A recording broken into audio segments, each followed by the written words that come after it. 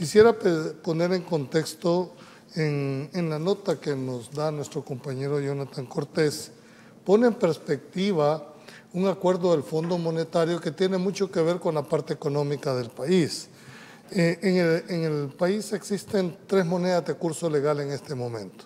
Tenemos el dólar, el colón y el bitcoin. Y al tener, dijéramos, eh, ser, mejor dicho, monedas de curso legal, tienen poder liberatorio y restricto, pueden hacerse transacciones y queda opción de la persona usar cualquiera de estas tres. Hago esta introducción porque paralelamente a esto, el Fondo Monetario está negociando con el gobierno más de 1.300 millones de dólares. Y para que haya esta negociación hay como cierta clase, dijéramos, de requisitos que el Fondo Monetario eh, le impone al gobierno. Y uno de ellos es que el Bitcoin, que ha sido, dijéramos, la principal muro con lo que se han enfrentado, lo dejan de ser obligatorio y pasa a ser potestativo, o mejor dicho, queda a discreción de la persona usar Bitcoin o no usar. ¿Cómo ven ustedes en esta primera etapa esta parte, dijéramos, o estos requisitos que ya vamos a entrar más a fondo de cómo el Fondo Monetario está condicionando los futuros desembolsos del país? Mira, tal vez hagamos un poquito de contexto de, lo que se trata esto. Yo creo, Julio, te acordarás tú que hace casi dos meses, en primicia, yo creo que ni me creíste, lo dijimos aquí, de que el, el gobierno estaba a punto de llegar y lograr un acuerdo con el Fondo Monetario Internacional con un programa de ajuste estructural. Vea, es que este tema del fondo viene más de dos años de estar tratando el gobierno. 2021. bueno, tratando el gobierno de acceder a esos fondos. O sea, y estos programas de ajuste estructural con el Fondo Monetario son motivados principalmente por un problema financiero, eh, fiscal de los gobiernos. O sea, el gobierno ya llegó a un punto tal en que no puede seguir administrando fiscalmente el país como tal, tiene serios problemas económicos el gobierno central y ya se vio obligado a hacer un programa de ajuste estructural con el Fondo Monetario Internacional. Eso es lo primero que hay que entender de esta problemática. El fondo, no es que el fondo no te quiera dar ese préstamo, sino que el fondo lo que dice es, mira, tenés que ordenarte fiscalmente en, el país y básicamente son tres cosas. Uno, tenés que dejar de gastar tanto dinero a lo loco, tenés que parar el endeudamiento y el tercer obstáculo para El Salvador era el tema del Bitcoin, que era una de las barreras. Pero eran tres cosas, o sea, era el gasto eh, eh, no controlado y excesivo del gobierno, eh, el endeudamiento altísimo del gobierno y el Bitcoin. Entiendo yo que si tú ves, ya hay muchos avances en este tema y por eso es que posiblemente ahora en diciembre ya se firme el acuerdo del, del programa de ajuste estructural. Cuando tú ves un presupuesto que presenta el presidente y hace aquel anuncio que dice eh, equilibrado. Es equilibrado, no vamos a necesitar financiamiento. Vea, han reducido los presupuestos de todas las carteras del Estado drásticamente, han despedido, de acuerdo a ese presupuesto, alrededor de 11 mil plazas del sector público. Todo eso tiene que ver con el programa de ajuste estructural del fondo, que es una de las condiciones, que es reducir el aparato estatal para dejar de gastar. Y dice él, no voy a hacer más préstamos, también precisamente porque es la otra condición del fondo y al parecer va a haber una flexibilización en el proyecto gubernamental vinculado al Bitcoin. Y, el tema ahí es que hay un artículo, que es el artículo 7 de la ley del Bitcoin, se lo voy a leer, dice, artículo 7, todo agente económico, todo agente económico deberá aceptar Bitcoin como forma de pago cuando así le sea ofrecido por quien adquiere un bien o servicio. Es obligatorio. sí, pero no solo es que yo te quiero comprar y es obligación que me lo aceptes, también yo como empleado vea, del sector público, por decirte, si el gobierno me quiere pagar en Bitcoin, estoy obligado a aceptarlo porque yo soy un agente económico que le estoy prestando un servicio al Estado. Entonces, también yo estoy obligado estás con este que artículo. Los salarios pueden ser pagados en Bitcoin. Si el gobierno lo quisiera, lo hace. Entonces, por lo menos la obligación yo la he entendido como si alguien me quiere pagar en Bitcoin, está bien, es su decisión, pero yo elijo qué recibo en, en la aplicación donde me va a hacer la transferencia. Entonces, si, usted tiene la opción garantizada por el Estado de recibir dólares y no Bitcoin, es como una obligación un, tanto en, más en letra que en la realidad, porque al menos a mí, de las veces que me pagaron en Bitcoin, nunca recibí Bitcoin, siempre recibí dólares. Y creo que lo del fondo... El planteamiento de Carlos dice que puede en un momento determinado exigirte que le recibas, porque de eso se trata. lo que, es decir, recibir el pago que me quiere hacer alguien en Bitcoin, es decir, yo, yo tengo que permitir que la persona me pague en Bitcoin, pero yo elijo qué recibo en mi aplicación. Entonces yo selecciono, eh, de hecho mi app así está, está programada o, no sé cuál es la palabra correcta. No, el diseño es para que yo tenga la opción que si me dan Bitcoin me quedo con Bitcoin o si me dan Bitcoin me quedo con dólares. Entonces yo tengo la opción señal, eso se lo enseñaron a uno cuando lanzaron la aplicación con sus defectos y todo, la han venido mejorando porque yo recuerdo que una vez no me dejó entrar y me hizo tomarme una foto y bueno, parece que ha mejorado el tema de la seguridad, pero yo tengo la opción en donde si me mandan Bitcoin, lo que yo recibo en mi app es dólares. Entonces, al final yo creo que el fondo lo que estaba era verificando que el riesgo, porque en realidad era, eh, es, es, una doble razón, creo yo. Al final, pues el fondo lo que promueven son el uso del dólar, ¿verdad? Principalmente como moneda fiat o, dinero tangible, ¿verdad? Dinero que yo puedo tener en las manos. Pero el riesgo asociado con los criptoactivos, que más se hablaba de lavado de dinero, yo creo que mm, no es que esté reducido con el dinero fiat o con el dinero en, en la realidad, porque es que todo lo que conocemos como lavado de dinero hasta hoy, se, todo se realizó y se sigue realizando con dinero contante y sonante. Lograr este acuerdo, ellos dicen, mire, yo necesito una estrategia que la voy a ir midiendo anualmente y básicamente tiene tres componentes. Uno, gobernanza, transparencia y el clima de inversión, que son como los tres requisitos, me imagino, porque no conocemos al final el acuerdo, qué es lo que podían exigir, porque no es que van a desembolsar los 1.300 millones no. ya, va a haber un plan de desembolso para ver si se está cumpliendo. Yo entiendo que es para tres años el, programa, hasta donde yo, lo, tengo entendido. Para ver si se está cumpliendo con lo que vos estás con exigiendo. con, estas características de, de, los elementos de gobernanza y todo eso. Con el Bitcoin en El Salvador no se logró nada. No hay ningún cambio importante, así de claro. Lo que sí sucedió es que se está convirtiendo en un destino posiblemente de lavado de dinero. Bueno, esa es una de las percepciones. Bueno, en, Panamá era es que en realidad eso de un paraíso fiscal no necesitó Bitcoin para convertirse en paraísos para los lavadores de dinero, ¿verdad? Eh, los que eluden el fisco y los que lavan dinero. Quisiera reflexionar en un punto que dijo oh, Carlos, eh, licenciada, y es el hecho que estos acuerdos, no solo con este gobierno, con todos los gobiernos, cuando los organismos internacionales negocian eh, la parte económica, siempre va paralelo un ajuste fiscal. Y normalmente eso a incrementar más impuestos o, si usted no quiere más impuestos, reducir la grasa. Y entiendo que hoy en esto hay una petición de reducir el 3.5% del PIB para que esto se pudiese llevar a cabo. ¿Esto en qué se traduce? En despidos. O se traduce Es lo que estamos viendo. O se, o se traduce también en un, dijéramos, eh, retiro voluntario forzoso, porque le dan a usted a dos conocer. Pero este parte de esa medicina amarga que el presidente Definitivamente, yo creo que a eso se refería el presidente.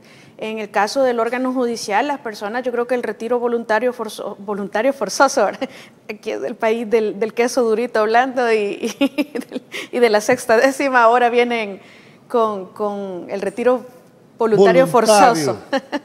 bueno como sea, eh, las personas deberían de acogerse porque yo creo que es más beneficioso al hecho de que después se van a quedar sin nada porque de todas maneras van a, a suprimir la plaza, al parecer. Están dándose muchas supresiones. De supresión de plaza sí, es que o no incluso para supresión de plaza hay procedimientos que al parecer, eh, bueno, no sé, la verdad es que no sé, pero alguien mencionó que al parecer no se estaban cumpliendo los procedimientos para las supresiones de plaza, porque eso es diferente. Lo que sucede es que no, lo que esperaríamos como ciudadanos es que no se vaya a dar lo que se ha dado históricamente en El Salvador que se despiden a lo, por ejemplo, cuando llegó el Frente despidió a la gente de Arena, cuando llegó Nuevas Ideas despidió a la gente de Arena y del Frente, entonces y lo que hacen es poner su gente, entonces que estén suprimiendo plazas para quitar gente, pero traer gente a la misma vez, entonces no salimos de nada, ¿verdad? Y eso no es lo que, lo que se espera porque al final del día... A ver, supresión de plaza es supresión de plaza. Sí, pero pueden crear una nueva plaza. Pero solo lo puede crear la Asamblea. Es decir, Sí, teóricamente así es. el único que puede crear una plaza en la Asamblea. Pero entonces es fácil porque se quitan, es decir, si quieren quitar a gente que está por, incluso hasta por ley de salarios, pues simplemente suprimen la plaza, ¿verdad? Y luego crean otra y contratan a otra persona. Entonces, pasear así la ley para contratar a gente de nuevas ideas, ojalá que no sea lo que vaya a pasar. esas son las cosas que al final el fondo va a ir monitoreando. O sea, el gobierno se está sometiendo a un programa de ajuste estructural, eso quiere decir reducción del gasto. Tú el gasto lo reducís echando a la gente que trabaja en el gobierno o dejando de gastar en un montón de cosas. No solo el gasto, el endeudamiento. pero esa es otra cosa. o sea, te pone las no, por eso, las dos condiciones. Lo que te, pero, pero en el tema que tenés que reducir el gasto, lo haces por dos vías. Incluso vos podés reducir el gasto más o menos y aumentar los ingresos. Entonces al final haces una buena, una buena compensación con eso, fuera de limitar el endeudamiento ¿cómo que era Dame las dos líneas. Para reducir el gasto, o echar gente o dejar de gastar en inversión pública y en bienes y servicios del Estado, que es lo único que gastas o en el Estado. impuestos. En el 2010, solo quiero meterte en esto. Cuando se dicta la ley donde se establece la prohibición de la explotación y la exploración. 2017. 2017. Uno de los considerandos que son los fundamentos políticos para normar, te dice que ya el país desde el 2010 era el segundo más depredado después de Haití. Claro. Es decir, estamos hablando que tal. De ahí que venga y decir, bueno, mira, tenés el 95% de los ríos contaminados. ¿Por qué enfocarse en el 5, dijo el presidente? y no plantear volver a regresar al 95. Mira, yo, yo, yo vuelvo, a mí me, encanta el tema de darle contexto a las cosas. Este tema de la minería metálica y de, permitir nuevamente que se reactive la minería metálica a pesar de, estar prohibida ya, eh, tiene que ver con lo que estábamos hablando antes.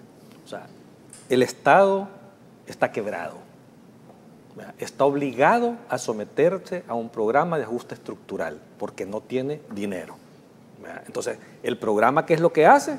Reducir el gasto del sector público, no tienen cómo gastar de ninguna forma, no se pueden seguir endeudando ya, ya no pueden, porque tienen, pero trabadísimo el, fondo de pensiones, ya, o sea, se lo van a acabar así a este ritmo que van, entonces ya no puede seguir haciendo esto. y si estas dos cosas se dan por el programa del Fondo Monetario, no tendrán dinero para hacer todas las otras cosas que están acostumbrados a hacer este gobierno. Entonces, como no hay dinero, tienen que buscar de dónde sacar dinero. La respuesta está en la minería. El presidente... ¿Es malo eso? El hoy, vamos, el presidente ha cambiado de opinión, porque el presidente estaba en contra de la minería metálica. Desde el 2019 en su campaña, uno de sus ejes de, de ataque a Carlos Calleja en la candidatura fue que Carlos Calleja estaba a favor de la minería metálica y ellos no. Si ves a todos los periquitos alrededor del presidente de esa época, todos estaban en contra de la minería metálica. Y ahora de repente el presidente está a favor de la minería metálica y todos los periquitos ya están a favor de la minería metálica. O sea, esa incoherencia del presidente solo se responde por la necesidad económica que tiene para buscar de dónde sacar dinero. Okay. Es tanta la, desesperación para mí del presidente de buscar dinero que está dispuesto a jugarse su capital político, porque tiene un capital político alto. La minería metálica, Julio, las encuestas anteriores y algunas cosas que hemos estado viendo últimamente de unas investigaciones, sigue teniendo un alto rechazo de la población. Casi un 80% de los ciudadanos en El Salvador no quieren la minería metálica no están de acuerdo. Entonces el presidente se va a jugar mucho de su capital político. Habría que este medir si la quieren ahora con el presidente claro, no, Yo creo que sí, no están de acuerdo en la forma en cómo ha sido explotada, exacto, sin ningún control. Es que, la ley se aprobó en el 2017 para denegarla. ¿te parece? No ha cambiado. por la experiencia de ese momento. No, no ha cambiado en nada. ¿Les parece sensato que solo sea un, el único país en el mundo en que tenga una prohibición de manera a mí sí me parece, a mí sí me parece, y te voy a dar las razones. El Salvador no es Chile. El Salvador no es Argentina. El Salvador es un país de 21 mil kilómetros cuadrados, con una alta densidad poblacional y con todas sus cuencas hidrográficas conectadas y con un gran estrés hídrico. Lo que sucede es que no nos podemos, primero no hemos visto todavía cuál es el ofrecimiento o el planteamiento que hace el presidente, como para decirle no a algo que, todavía no conocemos. Pero sería bueno que lo dijera antes de derogar la ley, ¿o no? Quizás. ¿Ah? y la van a derogar mañana. No sé, pero a mí me gustaría conocer el planteamiento para decir si ¿Tú decís que mañana lo deroga? Porque en términos generales, a mí no me gusta decir no puedo sin intentarlo. Si usted dice no puede, no, no puede no se puede, pero si usted busca la manera, yo estoy seguro que se va a encontrar una forma de, lograr un equilibrio en donde se pueda generar la riqueza, si acaso ese es eh, lo que se prevé o lo que se proyecta, eh, versus el cuidado del medio ambiente o la recuperación. Yo creo que eh, se trata de, querer encontrar la forma, porque realmente, por lo menos, vaya, el enfoque que hace Carlos cuando dice, está desesperado el presidente yo lo, yo lo veo con otros ojos. Qué bueno que esté desesperado porque en realidad El Salvador está desesperado por tener ingresos. Entonces, si él está dispuesto a sacrificar su visión personal por el bienestar del país entero, yo eso lo aplaudo. Entonces, yo no lo veo en sentido negativo. ¿Cómo podría, y eso es lo que quiero ver, eh, que ustedes olfateen esa interpretación, desde una perspectiva política, ¿qué peso tiene, dijéramos, el llamado del arzobispo Escobar a las cuando dice, miren, mediten, reflexionen en derogar la norma? Pues yo creo que la Iglesia Católica siempre es una voz importante, especialmente en un país como, como El Salvador, que somos tan conservadores y, y realmente la opinión de la Iglesia cuenta, ¿verdad? Sin embargo, políticamente no tiene ningún peso.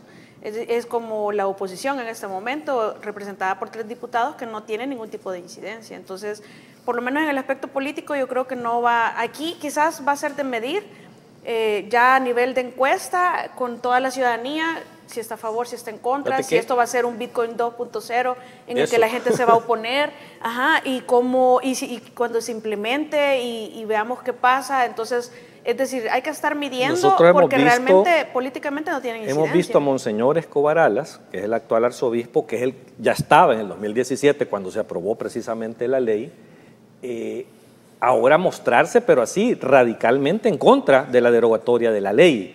Y es un, es un, arzobispo que ha sido bastante, hasta le se le critica que es muy tolerante con el gobierno del presidente Bukele, pero a pesar de eso el hombre se ha mostrado claramente en contra de la aprobación de la derogatoria.